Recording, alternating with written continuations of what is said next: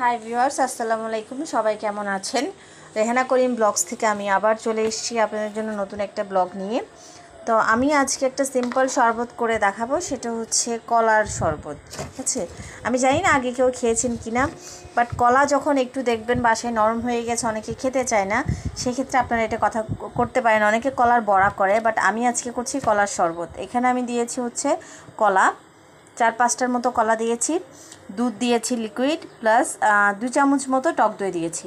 চিনিটা আমি এখনও দিই নাই, চিনি দিব বাট আমি আগে দেখব যে মিষ্টি হচ্ছে কি না কতটা মিষ্টি সেটা ডিপেন্ড করছে, কারণ সবাই তো আসলে বেশি মিষ্টি খায় না, সেজন্য।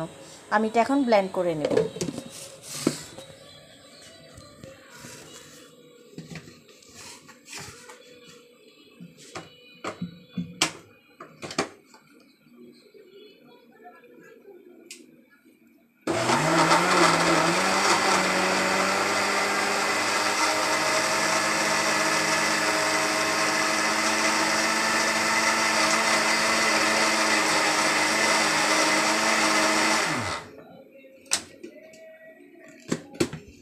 ভিউয়ার্স দেখেন, এখানে আমি আর একটু দুধ দিব।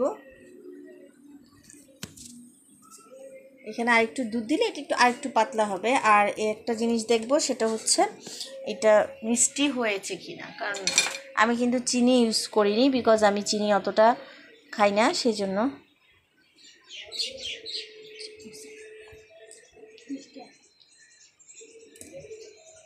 চিনি দিতে হবে?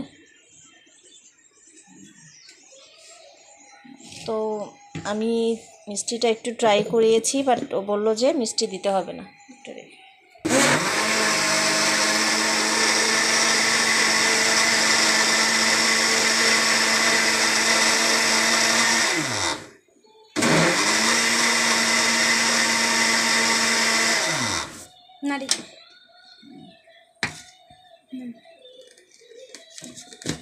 এই যে ভিউয়ার্স দেখেন, আমার কলার শরবতটা একদম রেডি এটা আমার কোনো চিনি দিতে হয়নি বিকজ অফ মিষ্টি হয়ে গেছে। আসলে কলার মিষ্টিটাই এত দিনে আর এক্সট্রা করে কোনো চিনি দেওয়ার প্রয়োজন হয়নি।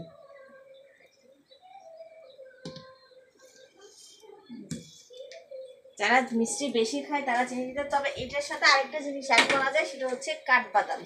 আমার বেশ বাসায় যেহেতু বাদাম নেই কাঠবাদামটা নেই এই জন্য আমি ইউজ করিনি বাট আই হোপ সো এটার সাথে যদি কাঠবাদামটা অ্যাড করা হয় অনেক টেস্ট টেস্ট আরও বেড়ে যাবে। কিংবা অনেকে আছে রু আফজা ইউজ করতে পারেন আবার ট্যাংটাও দিতে পারেন এটার সাথে কিন্তু ট্যাং দিলেও ভালো লাগবে। তো ট্যাংটাও দিতে পারেন তখন একটা কালারফুল একটা ভাব আসবে। এখন ধরেন কালার আহ, একটু হোয়াইট হোয়াইট না, ঠিক একটু অফ হোয়াইট কালার এসছে। বাট যখন আপনি ট্যাংটা দিবেন, তখন আরেকটু রকমের একটু টক, মিষ্টি এরকম আসবে টেস্টটা তো ভালো লাগবে। আপনারা ট্রাই করে দেখতে পারেন। এটা ফ্রিজে রেখে ইফতারের সময় আপনারা খেতে পারেন। ড্রিঙ্কস হিসাবে ভালো লাগবে। সো সবাইকে তাহলে ভালো থাকবেন, সুস্থ থাকবেন। আল্লাহ হাফেজ। আসসালামু আলাইকুম।